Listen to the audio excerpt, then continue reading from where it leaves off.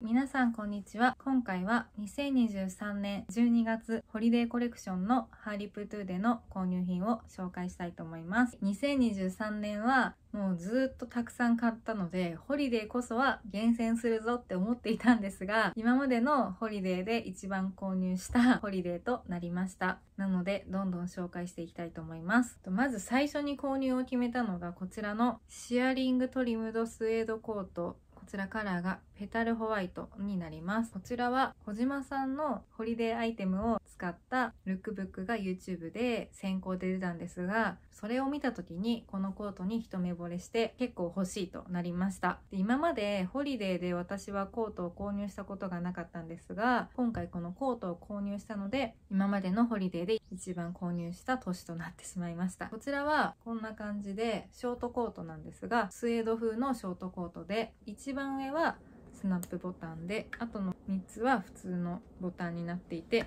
で中もこんな感じで全部ファーがついているのですごく暖かいコートになります。着るとこんな感じで結構若干ゴージャスな感じになるんですがすごい可愛くてお気に入りです。こちらは洗濯表示はクリーニングになっています。パンツスタイルにも合うのですごくお気に入りです。次の購入品がこちらのモンソーブークレミニスカートのスノーホワイトになります。こちらは先ほど言及した小島さんの YouTube の匂わせでこのコートとこのスカートを合わせていてそれがすごく可愛かったのでこのセットで着たいと思って購入しました。こちらはブークレのミニスカートで裾にこのフェイクファーがついていてすごく可愛いです。こちらポケットとかはないスカートになります。後ろはこんな感じでこの横のファスナーで着脱します。これを合わせて着るとすごい可愛いなと思います。このスカートに合わせるのに続いてのホリデーでの購入品がこちらのボリュームスリーブグリッターニットトップです。こちらは Her lip to で毎年秋冬に出ているボリュームスリーブニットのラメバージョンで動画で伝わるかわからないんですが実物見るとすごいキラキラしていてすごい可愛いです。色はこちらのミスティローズを購入しましたこのスカートに合わせたいなと思って購入しましたこちらのボリュームスリーブグリッターニットトップはこちらのミスティローズと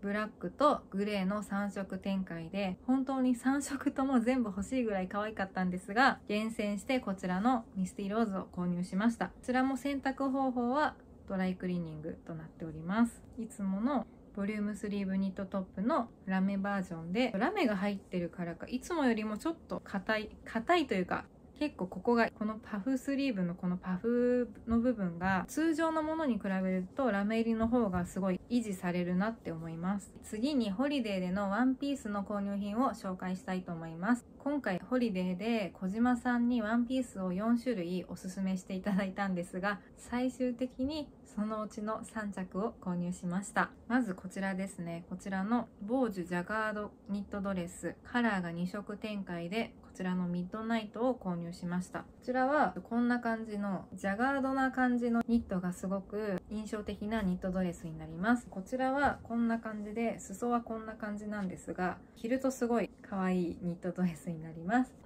ちらのフラップは飾りでニットドレスなのでポケットはないです。洗濯表示はクリーニングとなっております。こちらはホリデーの商品ラインナップが出た時にすごい可愛いなとは思っていたんですが2022年のホリデーで購入したニットドレスもすごくお気に入りなので2023年は買わなくてもいいかなと思っていたんですが小島さんにおすすめされたのと念のため試着しようと思って試着したところ何よりも着心地が楽ですごく可愛くてこれは絶対に買わなければと思い購入を決めました。こちらは本当にホリデーシーズンはもちろんなんですが大体最近は年明けた1月2月がものすごく寒いので1月2月のお出かけはほぼこれを着たんじゃないかってぐらいたくさん着用しました。こちらすごくお気に入りなので来シーズンもたくさん着たいなって思っています。洗濯方法はドライクリーニングになります。袖はこんな感じで広がっていてでもここはキュッとしてるっていう感じになります。次のワンピースがこちらになります。こちらのフレンチプリーツドレースドレス。こちらカラー展開がこちらのブラック一色となっております。こちらは匂わせがあった時こちらの上半身での匂わせがあってその時に結構可愛いなって思ったんですがまさかの膝丈のドレスでした。でこのレースがすごく可愛いなと思って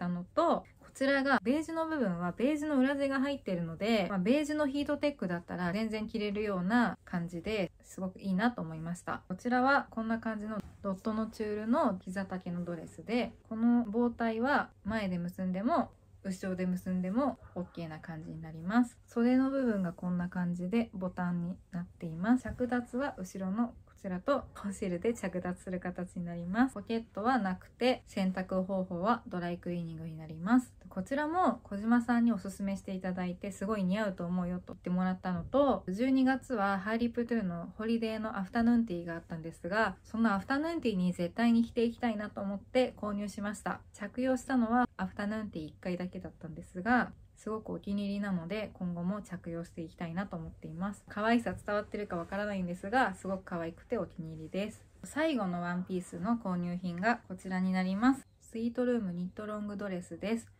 ちらのカラーがミスティローズでブラックと水色系とこちらの3色展開でした。こちらすごい小島さんにもおすすめされたのとあと試着してみたらすごい可愛くていいなと思ったんですがもう本当にホリデーたくさん購入してもうこれは諦めようかなって思ったんですが最終的に12月の年末の再販で購入しました。こちらは母がすごい気に入っていてすごい母親に褒められたワンピースになります。ニットドレスなのでポケットはないんですがこんな感じでスカウト部分に縦のラメが入っていてすごい可愛いです。この前のこの部分は重なってる風のデザインになっています。でボタンがすごいキラキラしていてこれもすごい可愛いです。裾の方のデザインはこんな感じになっています。後ろがこんな感じでここの肩のところにこう伝わりますかね？ちょっとこうやって肩のところに厚みが出るようになっているので着るとすごい上半身が綺麗になります。このウエスト部分はゴムになっています。これもすごいお気に入りの一着です。今回小島さんにあともう一個おすすめされたワンピースがあったんですがまあそれはそんなにあまり刺さらなかったんですがおすすめされた4着のうち最終的に3着を購入しました。他にも欲しいやつがあったんですが相談したところホリデーの時に私が着ていた千鳥コートもすごく褒めてくださってホリデーは結構シックに行こうということであんまりこう派手めなピンクとかよりも黒とかネイビーあとはこの落ち着いたピンクカラーのシックな感じでいこうとおすすめされました。3着ともどれも可愛いのですごいお気に入りです。ワンピースは以上になります。あとホリデーでの購入品が小物類になりましてこちらのノワールリボンロングブーツカラーこちらのツイード一色だったんですがこちらのロングブーツを購入しました。こちらはこのツイードの柄でこのロングブーツとショートブーツの2デザインが出ていたんですが私はこちらのロングブーツをファーのミニスカートに合わせたいなと思って購入しました。ミニスカートの時に履くとロングブーツすごいあったかいのでいいなって思いました。ヒールはこんな感じでウェッジタイプのヒールになっているのですごく歩きやすくて後ろはこんな感じになっています。この後ろのファスナーで着脱が簡単にできます。このリボンがポイントになっています。こちらはなんか最初はこれパッと見ネイビーのカラーなのかなと思って少し合わせづらいかなと思ってあんまり見てなかったんですがよく見たらブラックのカラーで何にでもも合うなと思って購入しました。本当は無地の黒の普通のロングブーツを探していたのでこれは結構変わり種だなと思ったんですが色は黒なのでそんなに柄物地ではなければ合わせられるかなと思って購入しました。ウェッジソールですごく歩きやすくて可愛いのでお気に入りです。あともう一個小物でこちらのカッティングフォーファーバケットハットのスノーとブラックがあって私はこのスノーのカラーを購入しました。こんな感じです。横に Her lip to の H のマークがあってかぶるとすごい可愛くてお気に入りです。ちょっとかぶっても見えないのであれなんですがかぶるとすごい可愛くて暖かい帽子になります。でこれ中が一応このマジックテープでサイズ調整が可能なのと中にこのおなじみの With Love のデザインになっています。今回ホリデーで可愛い小物がたくさん出てネックレスを2つとあと耳飾りも2つ購入しました。ネックレスはどっちにもルナっていう日本語で言うと月をモチーフにしたネックレスですごく可愛くて両方2種類購入したのと耳飾りもアシンメトリーダブルリボンピアスの方は少し前から匂わせがあってその際にもしピアスだったら絶対に欲しいなと思っていたので購入しました。トゥートーンクリスタルピアスの方は匂わせの時にこのタイプはおそらくイヤリングかなと思っていたらピアスとイヤリング両方で出たのでピアスを無事に購入しました。2023年12月ホリデーでのハリプトゥの購入品紹介は以上になります。最後までご覧くださりありがとうございました。